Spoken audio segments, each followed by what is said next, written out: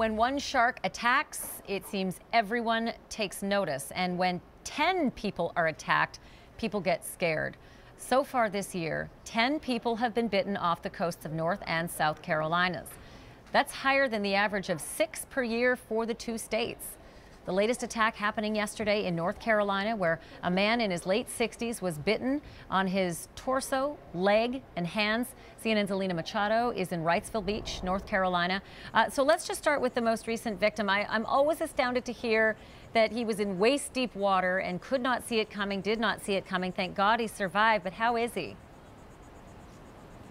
But last check, uh, Ashley, he was recovering at the hospital. He's a 67 year old man. He's from Massachusetts, and he was in North Carolina vacationing with his family when the attack happened. Uh, you know, authorities tell me that when first responders got to him, he was alert. He was talking to them. Uh, he seemed to be in pretty good spirits considering what had just happened to him. Uh, he did suffer severe puncture wounds in an area between his thigh and his knee, and he also had bites to his calf. Now, this attack which happened in the Outer Banks, which is north of where we are, is the seventh to happen off the North Carolina coast this year. Uh, the victims of the other attacks include a 13-year-old girl and a 16-year-old boy. Uh, each of them lost an arm in separate uh, incidences, some 90 minutes apart in an area that's south of here on June 14th. Uh, bites have also been reported in South Carolina and also in Florida, Ashley.